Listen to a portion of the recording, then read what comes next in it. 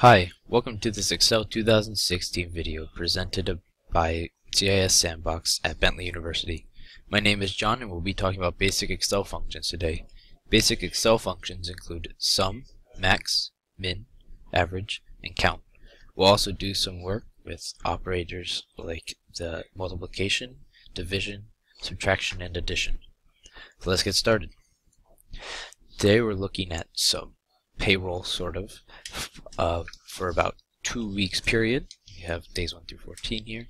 We can see that their earnings start at $136.54 and comes down to day 12 here. So what we're going to do is we're going to sum them up first. We're going to hit equals and we're going to type in sum, hit the left parenthesis. What you can do is highlight them, cells D10 to D23, close it off with a right parenthesis and hit enter. Here we have our sum for all 14 days. We're going to do the same exact procedure for C cell C24 here, but what we can do is we can actually go up to formulas, hit auto sum, and we can either hit this button or we can hit this down arrow and you can see that it has sum and has everything that we're going to talk about today. So hit sum and it's going to come up and it shows every single one that we need. Hit enter. Here we go.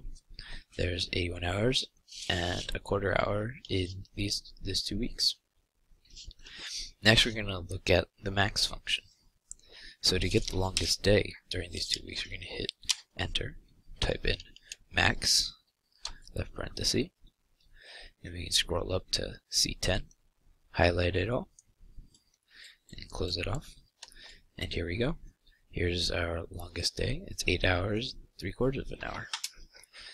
The next one we're going to look at is. So we can stay right here in the shortest day. Come to auto sum again, hit min.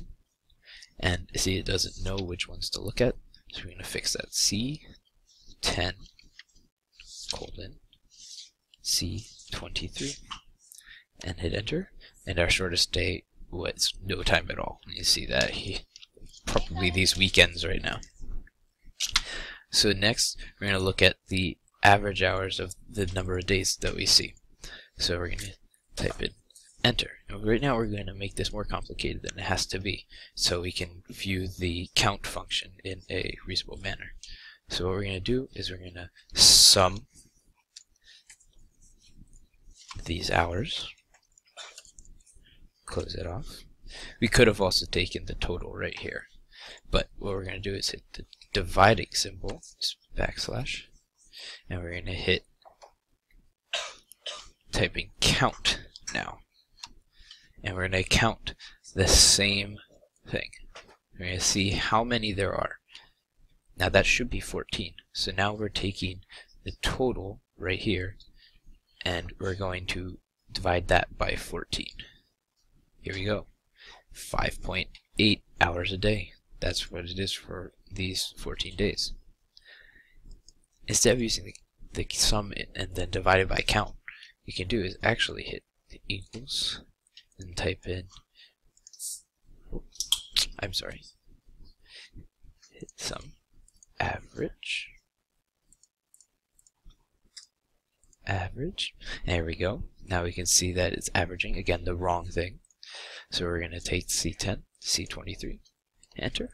And here we go. Same number same procedure but just an easier way to find it. Now what we're going to do is we're going to take the average hours per week. Well we already have the average hours per day. So now all we have to do would be multiplied by 7 so we're going to do equals.